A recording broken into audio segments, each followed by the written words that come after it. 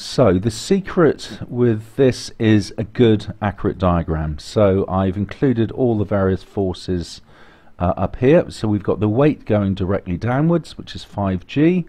We've got the normal reaction going off perpendicular to the plane.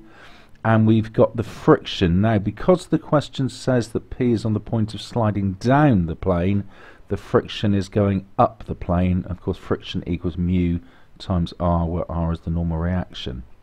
So, uh, where we have questions uh, on a plane, I think it's always easiest to resolve in the direction of the plane and perpendicular to the plane. So I really want to have all my forces being either of those two. So I've broken the 10 newtons down to being this 10 sin alpha and 10 cos alpha.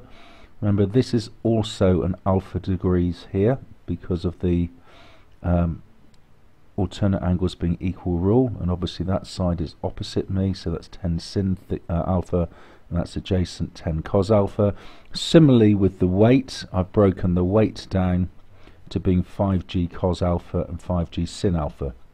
Again just make sure you're comfortable that this angle here is another alpha because that's alpha that's 90 degrees there that would be 90 minus alpha so that's another alpha so that um, force there is 5g sin alpha as it's opposite me and that's 5g cos alpha now I'm going to be moving on to resolving uh, in the direction of the plane but given that friction is one of the forces involved I'm going to need to know what R is the normal reaction so I'm going to kick off by resolving a perpendicular to the plane which is what I've done down here.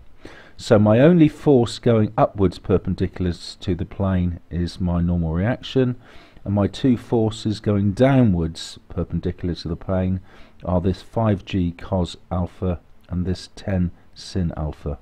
So R equals 10 sin alpha plus 5g cos alpha. This one and this one.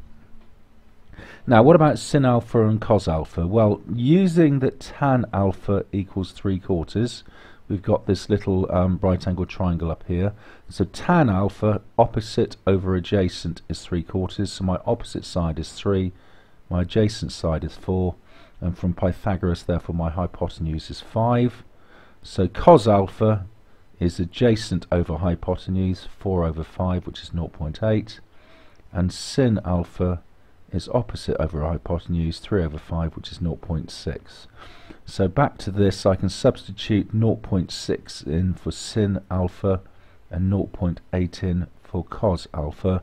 Popping that into your calculator you get your normal reaction being 45.2 now moving on to resolving um, in the direction of the plane.